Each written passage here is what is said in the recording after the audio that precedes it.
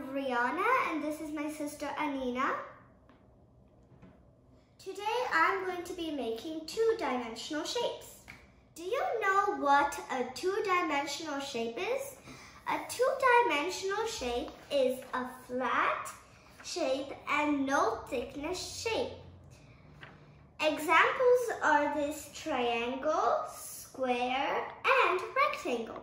Today in my project, I'm going to be making a diamond. I am going to use these bamboo sticks, Play-Doh. When you use these bamboo sticks, make sure to cut them uh, in equal pieces, which are four equal pieces. I did them in seven inches, or you can do them however you want. And make sure the Play-Doh is going to be all rolled up.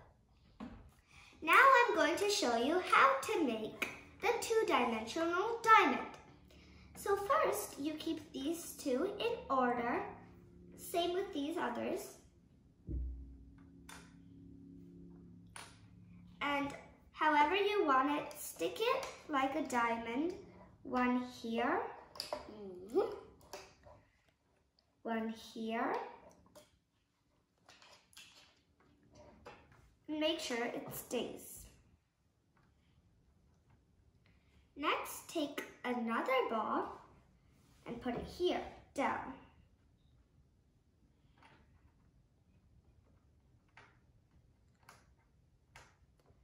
And next, make sure it's steady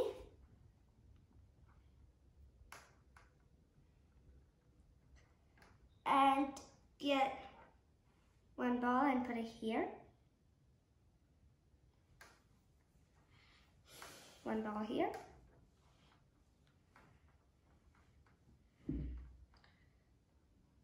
As steady as you could. Same with the other side. Like this. Make sure to stick this in here too. There you go. Now you have a diamond. This is how you make a diamond. Do you know what is a difference between a square and a diamond? A square has equal sides and equal angles. But if the diamond has only um, equal sides and opposite angles, which are these two and these two. Opposite angles are the same.